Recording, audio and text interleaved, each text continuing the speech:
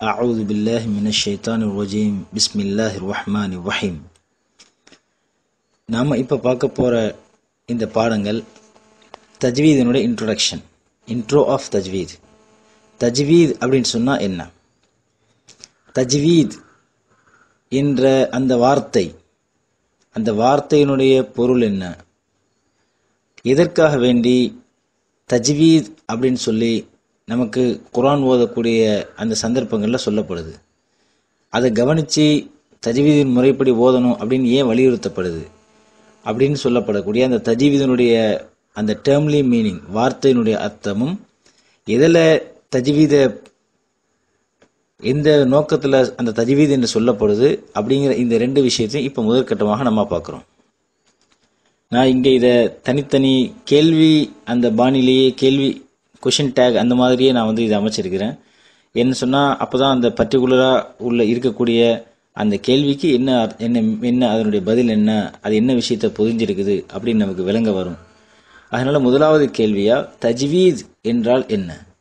Generally தஜ்வீத் அப்படின்னு சொன்னால் என்ன? இந்த தஜ்வீத் அப்படிங்கிற வார்த்தையினுடைய பொருள் அரபிக்கில் இங்கிலீஷில் தமிழில் இதனுடைய பொருள் என்ன?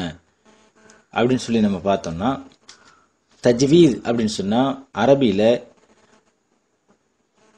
லுகத்தன் என்று சொல்லுவாங்க. அரபியில் அத் தஹ்சீன் அல் இத்கான் அல் இஹ்காம் என்று இந்த மூணு வார்த்தை சொல்லப்படுது தஜ்வீதுக்கு. ஏராளமான அந்த வார்த்தைக்கு ஏராளமான அர்த்தங்கள் சொல்லப்பட்டாலும் அதில் ரொம்ப பொருத்தமான அர்த்தம் என்னென்னா அத் தஹ்சீன் தஜ்வீத் அப்படின்னு சொன்னால் அத் தஹ்சீன் அல் இத்கான் அல் இஹ்காம்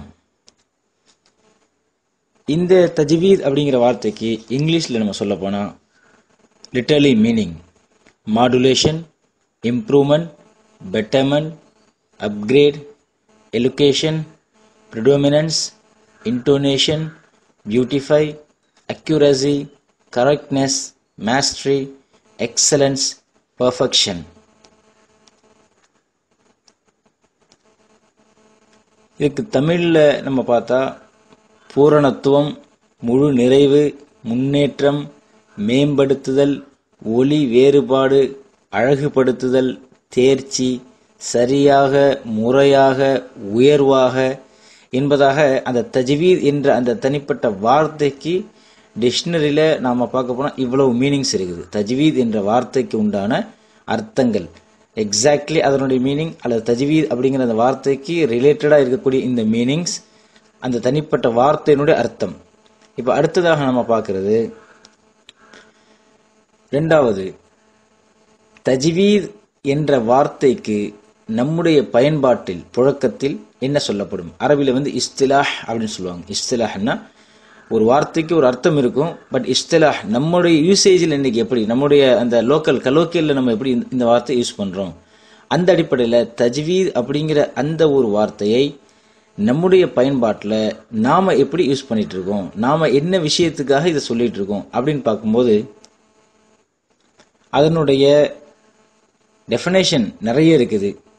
அரபிக்கில் அதில் ஒரு குறிப்பான ஒரு என்ன சொன்னால் திலாவத்துல் குர்ஆனில் கரீம் ஹக்க திலாவத்திஹி ஐ பியத்தாஇ குல் ஹரஃபி மினல் குர்ஆனி ஹக்கஹு வ முஸ்தஹிக்கா بمقتضى أصول معهودة والإتيان بالقرآن مجودة بريئة من الرداءة في النطق இதுக்கு தமிழில் சொல்ல போனால் இந்த அரபி வாசகங்களுடைய தமிழுடைய அர்த்தம் என்னன்னு சொன்னா சங்கை மிக்க குர்ஆனை ஓத வேண்டிய முறை பிரகாரம் ஓதுதல் அதாவது குரானில் உள்ள ஒவ்வொரு எழுத்தையும் வார்த்தையையும் எவ்வாறு உச்சரிக்கப்பட வேண்டும் என்று சொல்லப்பட்டுள்ளதோ அதன் பிரகாரம் எந்த தவறுமின்றி அழகிய குரலிலும் துணியிலும் ஓதுதல் இங்கிலீஷில் the term is technically used to refer to the science concern with correct recitation and pronunciation of the Quranic words and verses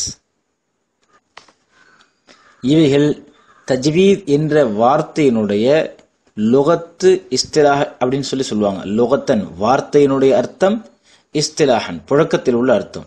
இதெல்லாம தஜ்வீது பத்தி குரான் என்ன சொல்லுது ஹதீஸ் என்ன சொல்லுது அப்படிங்கிற அந்த விஷயத்தை இன்ஷா அல்லாஹ் உங்களுக்கு சொல்லப்படும்.